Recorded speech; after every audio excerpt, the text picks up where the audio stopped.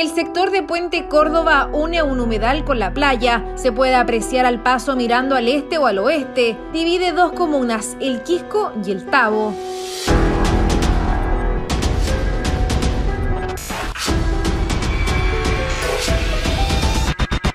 Es un lugar donde se aprecia la naturaleza con la quebrada y sus aves que están presentes en este espacio de agua dulce. El calentamiento global ha hecho que diferentes especies emigren de algunos espacios donde ya no existe agua. Bien, nos encontramos en el puente Córdoba, es el punto de unión de la comuna del Quisco con la comuna del Tao. Es este lugar donde lamentablemente han fallecido aves protegidas y que han sido por este tendido eléctrico que ustedes pueden ver y que ellos no aprecian justamente por la nubosidad o por la bruma que se da con el mar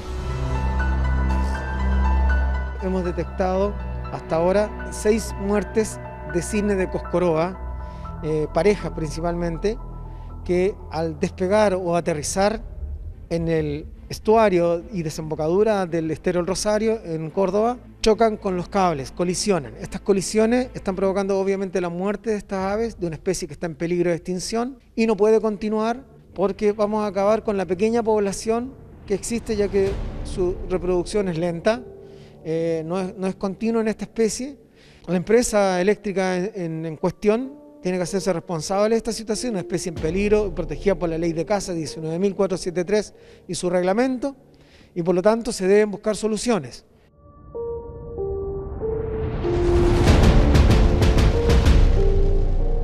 El cisne coscoroa es una especie en peligro de extinción. Esta particularmente por años no se había visto en estos sectores, pero la falta de agua los tiene en este lugar. El cisne coscoroa eh, se, transporta por varios humedales. Pasa un tiempo acá en el humedal Córdoba, en el Cartagena, en la desembocadura de Río Maipo y así va.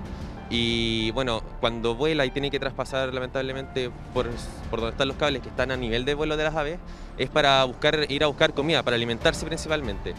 Y desde ahí que, está la colisión, porque los cables están a su nivel de vuelo, tanto como del Cine Coscoroba y del Cormorán Yeco. Lo que nosotros buscamos es que se haga una intervención por parte de la empresa, eh, ojalá lo posible que los tubos pasen por debajo del puente, porque no solamente revisten un riesgo para la comunidad, para las aves, sino que también para las personas que transitan en ese lugar, los cables están al alcance de la mano. Entonces es un peligro también para la gente. Y esperamos que esto se haga visible, que se sepa y que de alguna manera eh, podamos cambiar esta situación porque finalmente está afectando no solamente el humedal Córdoba, sino que es una situación que probablemente se repite a lo largo de toda esta red de humedales que hay a lo largo del litoral y que funcionan como un solo ecosistema.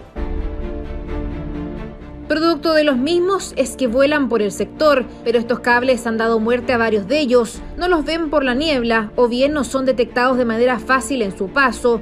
Los más jóvenes son los que han corrido esta mala suerte. Llegamos donde antes los humanos no estaban, y estaban los demás seres vivos eh, desde antes de nosotros. Entonces, esas consecuencias son las que no miden a veces las empresas, no hay estudios de por medio y se hacen como lo hemos pensado siempre, postes, cable, postes, cable. Estas situaciones pueden tener remedios uniendo los cables, bajando los cables, juntándolos todos, protegiéndolos con un plástico que no los electrocute, que lo vean visible para que se empiecen a acostumbrar porque en general lo que hemos visto en el tiempo, eh, en la historia natural y la ecología de estos animales, es que colisionan los más juveniles. Como siempre, por la falta de experiencia, los jóvenes pagan muchas veces caro con su vida eh, y obviamente los adultos no les va a pasar porque si chocaron, quizás se golpearon y sobrevivieron y siguieron volando. Una situación que podría ser mejorada por la empresa a cargo y que se espera que puedan hacer cambios. Es imprescindible considerar los avances o expansión de los seres humanos que puedan considerar las otras especies que conviven con nosotros.